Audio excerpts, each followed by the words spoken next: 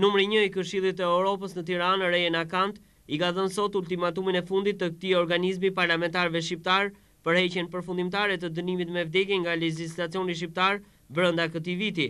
Përndryshe, Shqipëria do të pësojë si Ukraina përjashtimin nga Këshilli i Europës. Por nënkryetari i Parlamentit, Namik Dokle, i ka dhënë sot garanci të plota përfaqësueses së Këshillit të Europës, Reje Nakant, se Shqipëria do të nënshkruajë shumë shpejt protokollin numër gjashtë që ka të bëjë me heqjen përfundimtare të dënimit me vdekje brenda këtij viti. Dënimi me vdekje do të zëvendësohet në legjislacionin shqiptar me dënimin me burgim të përjetshëm. Kam përshtypjen që partitë kryesore që përfaqësohen në Parlament si Partia Socialiste dhe Partia Demokratike kanë shprehur vullnetin e tyre për ta ratifikuar protokollin gjashtë, Por ka ndonjë parti tjetër siç është Partia Republikane e cila nuk mendon se duhet bërë një gjë e tillë.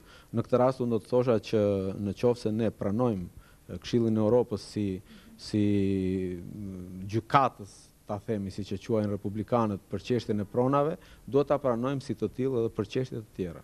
dhe dënimi maksimal duhet të jetë dënimi me burgim të përjetshëm pa asnjë të drejtë amnistie.